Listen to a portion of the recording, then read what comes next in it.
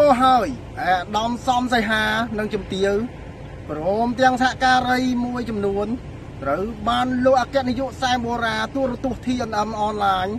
បានដាក់ពាក្យបណ្ដឹងពីបទបរិហាកេ TNM ទូរទស្សន៍អនឡាញដំបូងគេនៅកម្ពុជា កាលពីចុងឆ្នាំ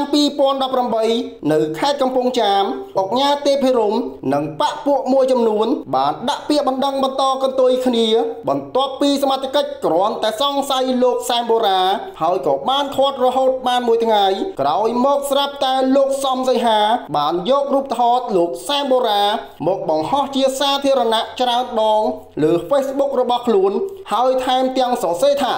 មើលមុខមេបោកយក Facebook ធ្វើអាជីវកម្មដោយលោកអុកញ៉ាទាវិចិត្រនិយាយអញ្ចឹងអំពើខាងលើនេះធ្វើឲ្យលោកសែនបូរ៉ាសែនឈឺចាប់អស់រយៈពេល72ឆ្នាំទើបបានសាលាកម្ពុជាសម្រេចឲ្យឈ្នះក្តី ដោយភាពយុត្តិធម៌បំផុតកាលពីខែមករា ឆ្នាំ2020នេះគួរបញ្ជាក់ផងដែរថាឯកឧត្តមសំសីហាកាលពីឆ្នាំ2015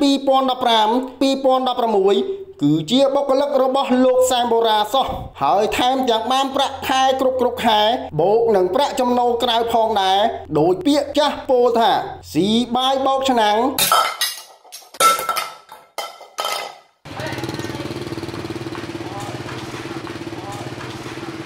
ឆ្លងស្ពានគេហើយមករស់ស្ពានគេចោលទៀត